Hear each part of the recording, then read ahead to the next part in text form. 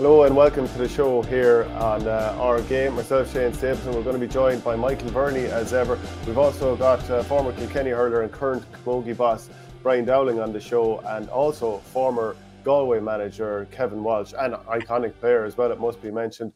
I'll just first of all bring in Michael Verney. Michael, how are things with you? All good, Shane. Yeah, all good. Yeah. Oh, I'm throwing everything around the place there. And as well, Brian, delighted to have you on the show. Obviously, very tough circumstances for the family um, in the in the past uh, number of days, and I suppose I'll just go through it. Obviously, you've you've had tragedy, and your brother mm. Sean put up a, a, GoFundMe page on the basis of what's happened here. And I'll just read out the, the statement on that, and hopefully people can can follow the GoFundMe page, which I'll share a link to, and uh, support that. But uh, Sean's message said Wednesday, the 23rd of March, started as any normal day in the lives of two elderly brothers, Dominic and Oliver Brennan, in Jenkinstown and Kilkenny. By lunchtime, their lives were altered forever a fire broke out in their uh, in their home house, taking the house, all its contents, and with deep regret, I write the life of Oliver, who couldn't escape the, the flames.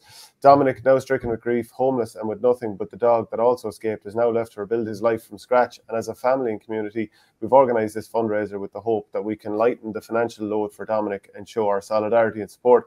As Dominic and Oliver's family, we want to express our deep gratitude for any support you can give. We appreciate that right now everyone is under enormous, enormous financial stress, and there are so many worthy causes to donate to. Any donation, no matter how small, is greatly pre- appreciated. It's obviously been a tough time, Brian, but the, the response seems to have been brilliant so far. Uh, I'm sure that's given you some so small crumbs of comfort. Yeah, look, thanks for having me. First of all, lads. Um, look, yeah. I suppose it was it's a, just over a week now since it happened. It was a terrible shock to everybody in our family and in the community. And you know, I think it's it's after kind of hitting everybody all over the place. Um, look, when anything like that happens, it's it's just a terrible tragedy. But I suppose you, we all say, look, you never expect it to happen at your own doorstep. So look, it was um terrible incident last Wednesday, and unfortunately, my uncle Oliver lost his life. Um, my uncle Dom was lucky that he survived. Um, but obviously his home house was left destroyed. So um, that's my own mother's uh, house from when she grew up as well. So look, it's the only place he's ever lived, and all he wants to do is to move back there. And look, my brother set up the GoFundMe page on, on Monday, I think it was, and the response to it since then has just been absolutely incredible. Um, people from all over the place have donated money, have shared stuff on, on social media. It's, it's it's just really remarkable what people have done, and I think it's it's over thirty two thousand now. Um, I think the target was twenty thousand, but even at that at the start, I don't think that was a realistic target. I think it was just thrown up there to hopefully get anywhere near it. Would have been you know, 5,000, I think we kind of said maybe. But to get 32,000 is, is just unbelievable and it seems to be rising there the whole time. So, look, people are are just brilliant, you know, and, and we really appreciate everything that they've done for us. Yeah, and there is the the fundraiser page just there. Michael, do you want to do you want to say anything? No, just uh, the only thing I would say is in times of uh, in times of hardship and tragedy, the GAA community there is no better community to come together and pull together for one another. So uh, great to see people giving their support through what is I, I can't imagine how, how difficult a time it is for, for Brian and his family. So uh, this this this it doesn't uh, it doesn't replace anything, but it definitely does help anyway. So I just encourage people to to get involved and give any support, and no matter how small, every little does help. Yeah, obviously. Just, uh, go ahead, Brian. Yeah, well, sorry, just to echo that. Like you know, I think you know, we, I suppose sport, we all are mad manage sport and that, and it is times like this, as Michael said, that you really see the, the huge benefits of it. Um, you know, obviously in Kilkenny Camogie at the moment, you know, we've had another tragedy only recently with Paul Shefflin passing suddenly at 41 years of age, and his brother Tommy is part of our coaching staff. So, you know, and we're just seeing the, you know, the, the, the trauma and the, the, devastation that that left in, in Ballyhale and that, and you know, but it's it's you know, I was only talking to Tommy about recently. It's just the having sport outside of that just gives you something to release and. Um, you know, the response from the, the GAA circles and the Camogie circles in the last week has been unbelievable. You know, just seeing people donating and tweeting stuff, you know, Cork Camogie, Dublin Camogie, Clare, um, you know, all of them have been absolutely unreal, you know, and Kenny Camogie, Kenny Hurling, it's just, it's unreal. You know, obviously we have rivalries with players and stuff like that, but you know, I got messages from from Cork Camogie players, from from managers um, in the game, and you know, obviously when the white line or get over the white line, it's a different ball game. But after 60 minutes, there's a huge respect there, and um, you know, I'm just very grateful to to everybody, and it just means a huge amount to, to myself and obviously to my family as well. And you know, my I was talking to my uncle Dom last night, and you know, I was telling him all the, the, the stars that have been tweeting them and or have been retweeting stuff like Joe Canning and Eddie Brennan and all these lads. Um, uh, Marty Morrissey, Anthony Daly. So I think he's he, he can't get over that. You know, he's not into social media and like that himself. But it's you know, it is it, obviously it's still extremely tough and it's, everyone is raw at the moment. But uh, it is giving him a lift that you know, and the family lift to, to know that there's a huge support there in, in Kilkenny and, and all over the country as well. Yeah, absolutely. I mean, that's something I found out when we had the fundraiser for my sister back in late 2018.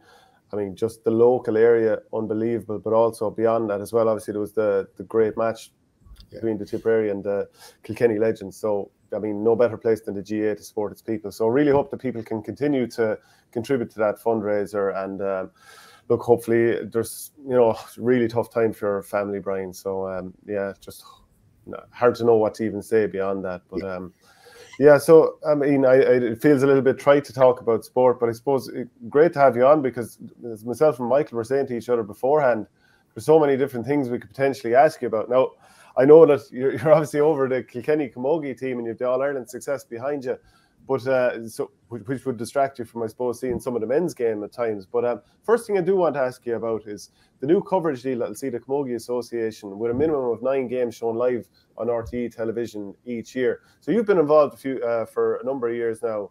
First off with Anne Downey and now on your own as well. And you know, obviously you have a long history in hurling. Do you, where do you think Camogie is going in terms of like progress and getting status? It's it's getting better, that's for sure. Um, I've seen a huge improvement even since I've been there. You know, obviously we had no sponsor last year, which was very disappointing. But you know, the sponsorship announcement on Monday, I think it was, um, you know, was brilliant to see. And look, that's what we want. And you see, there's other counties now. Um, Cork are after getting their own sponsorship. Galway a big sponsorship deal. Um, you know, we're very well looked after in Kilkenny with with Glanbia as well. So look, it's it's great to see, and you know, the, the live games is brilliant. Um, Littlewoods have done great work in the, the leagues the last couple of years, streaming the games, and stuff like that. So I think the All Ireland that we won in 2020, um, it was you know it was on at half seven on a Saturday night, and you know I think it got a big audience. I know it was during COVID, I suppose people weren't doing much else, but I think it was good promotion of the game, and it's just to get the get people watching it. You know that's that's the main thing. Um, you know the attendances would still be fairly low at games um, until you get to an All Ireland final, but you know it is increasing, it is getting better, and it just have to keep promoting the game. You know. Yeah, Michael just on that, Brian, how important do you think the rule changes have been over the last couple of years? I find I find Camogie is so easy to look at now, maybe as opposed to maybe a couple of years ago. Now, just that the bit of physical contact, the fact that you know, you know, frees are not given nearly as easily as they would have been before. I do think it's a much better spectacle. There's been some like the All Ireland final last year was brilliant. Year semi final was brilliant. The 2020 was it 2022 or 2020 All Ireland final was very very good as well they're helping themselves, I suppose, now after maybe not helping themselves for a while. Yeah, definitely. I love the rule changes. I, I think can, another few tweaks here would be great as well. Um, like all the girls want, all the managers want is physicality. You know, I was watching on like you probably were in 17 and 18, 16, the, the three Kilkenny and Cork finals, and it was just every 20 seconds was a free and you know very low scoring games, and you know there's no flow to it. It was really really frustrating. Um, some of the league games still are frustrating. The refs are not really letting the game flow like you know, but they kind of seem to do in the in the later stages. You know, definitely the last two All Ireland finals were brilliant games. Uh, physical, physical, last three All Ireland finals, the physicality in the games were brilliant, and that's what the players want, and that's what supporters want. You know, if you want to get supporters into the ground, you have to let the game flow. Like within reason, obviously. You know, there is one or two more rules that could change. You know, still have the, the play in the hurl and things like that that probably should be gone. Um, but look, there, there are dropping the hurl is gone uh, hand passing ball into the goal is gone. You know, and look, the girls are delighted with that. Like, there's nobody complaining that they want these rules back. So, um, look, there's little, one or two more things that could be changed, but it's definitely going in the right direction, which is great.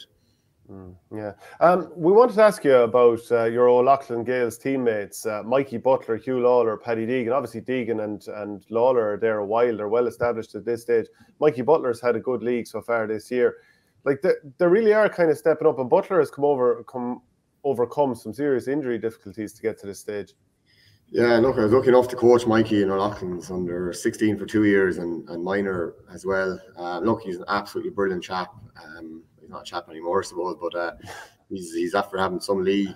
Um, you know, ever since I had him, you know, he's a lad I, I would have thought would have made it, but he was always very, very small.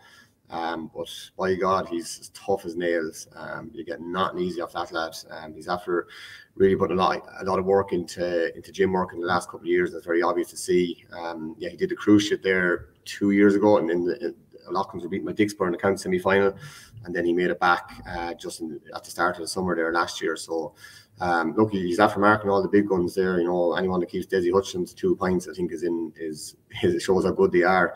Um, you know, you do not get an easy game off Mikey. He's he's right behind you everywhere you go, and uh, just has a super attitude. So I'm delighted to see him going so well. And look, you and Paddy, I suppose, broke into the team. Paddy Deegan will be a player I'd use as an example um, to anyone I'm talking to as a player who's got the absolute maximum of his career.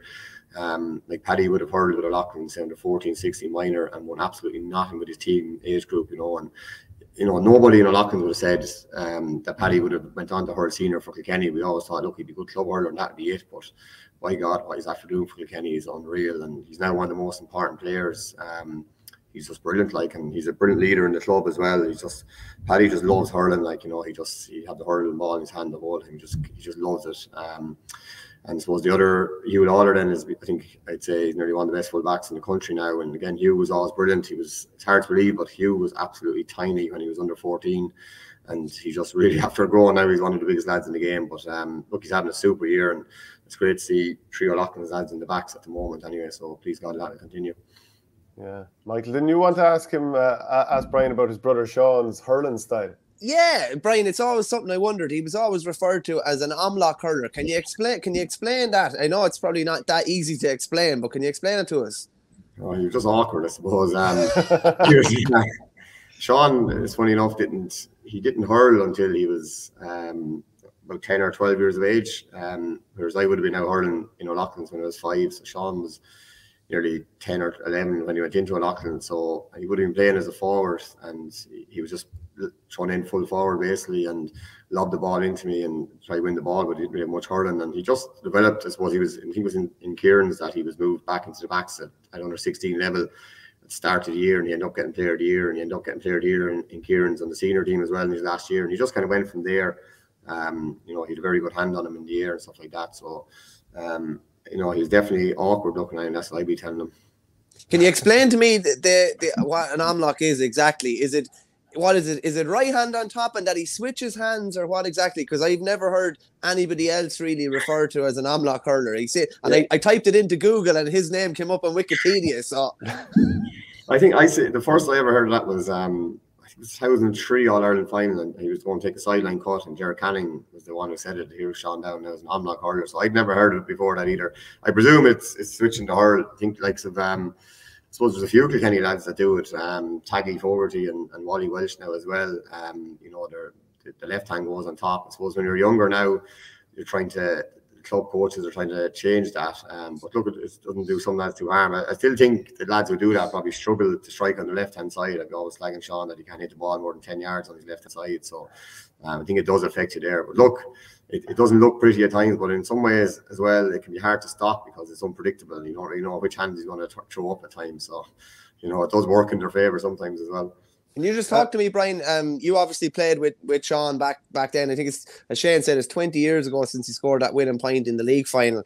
And the, the symmetry of it all, the fact that there was a GPA row going on at the time, and there's a GPA row still going on now, 20 years later, I thought was an interesting one. But can you just talk me back to your, your time with Kilkenny? How many years were you were you involved, and what was it like? I suppose to be involved with you know, in around, you know, then and the years following, probably the greatest squad that was ever assembled in hurling.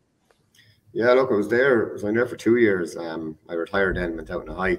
Um, no, look, unfortunately, yeah, two years, but I would have liked to have that, had a lot longer. Um, I was called in when I was just out of minor, so I was only 18 when I was on the panel, and you know, I was getting on really well and was getting a bit of a bit of game time here and there. Um, and then obviously it came on in the, the league final and got two points. Sean got a point that day as well came on in the Leinster semi-finals Offaly and came on the Leinster finals Wexford and got a point. Didn't feature then for the rest of the year. Then the following year, um, we got a couple of league games as well, and you know I, I, felt I was hitting form with the club just after the league, and then I broke my ankle at the start of the summer, and I was still under twenty one, and I got back within six or seven weeks, probably way too soon, and I tried to force it, and I really struggled for for confidence that year. Ended up um, getting back on the under twenty one team. We won the All Ireland against Galway, but I ended up was taken off in 15, 20 minutes ago, and that All Ireland final really dented me confidence. And then went on, we won the county final with O'Loughlin's, and you know, it was only going okay, but I think I felt it was really coming back to form in the All Ireland semi final against Newtown Newtownshandrum. And I went to a replay, and you know, I felt it was going well. Um, that was on a Saturday, and I got a phone call off Brian Cody. Then the dreaded phone call on the Monday morning to say my services were no longer required, and I think it was about a 45 second chat, and that was it. Um, he said, "Look, I'll keeping an eye. If you're doing well, we'll bring you back in." And I was still under 21 for that year, but um, you know, I just I didn't enjoy hurling at all. I was putting so much pressure on myself because all I wanted to do was was get back on the panel. And back then there was no psychologists or anything like that. I, I afterwards I would have um, built up a brilliant relationship with the late brother uh, Damien Brennan, but unfortunately at the time that I wasn't I didn't I didn't know him at the time well enough to talk to him. So look, I really could have benefited from talking to someone back then. And look, Suppose all my life, all I wanted to do was hurl for the Kenny. That was my dream. And you know, to be in there at 18 and gone at 20 was, was devastating. And you know, probably, you know, probably definitely affected me for the rest of my career. And it was something I, I found hard to get over because confidence wise, and then you know, trying to well, I tried so hard to get back there, and harder I was trying, the worse it was getting, you know. Uh, just a reminder to everyone, we're switching over to Patreon for the rest of the show. Patreon.com forward slash our game. That's the place you can watch the rest of the show. It's just a fiver a month. Works out very little per podcast, about 50 cent.